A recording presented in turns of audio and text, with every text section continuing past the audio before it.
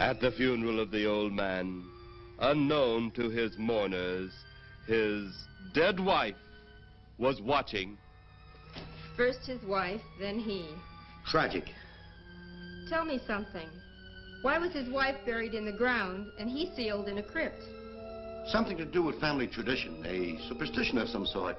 Oh, Well, it's getting dark. Let's be on our way.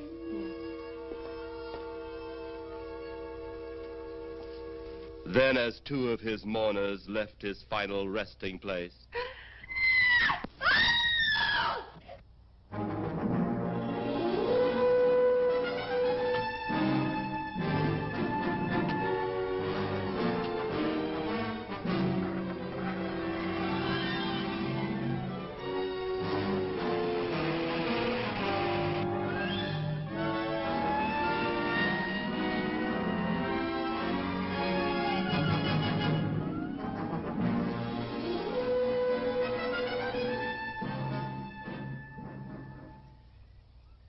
minutes later, the police, led by Inspector Daniel Clay, arrived at the scene. Who found them? The man and girl Medical uh, examiner been around yet? just left. The morgue wagon ought to be along most any time. You get their statement? Yeah, much as we could. They're pretty scared. Finding a mess like this ought to make anyone frightened. Have one of the boys take the guy and the girl back to town. You take charge. Okay, Inspector. What are you going to do? Look around a little. Pretty dark out there. Once you get beyond the range of those lights, you won't be able to see your hand in front of your face. I will get one of the flashlights from the patrol car. Okay, be careful, Clay. I'm a big boy now, Johnny.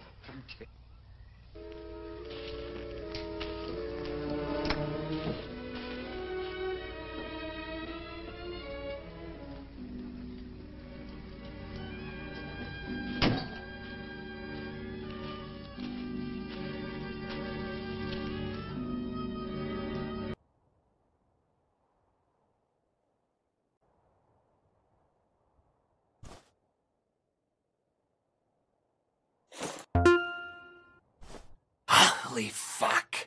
I look like a priest. A great power with no responsibility.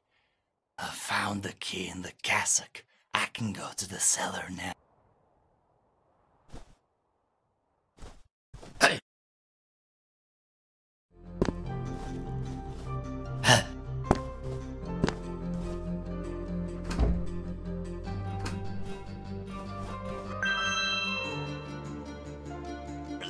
Feelings?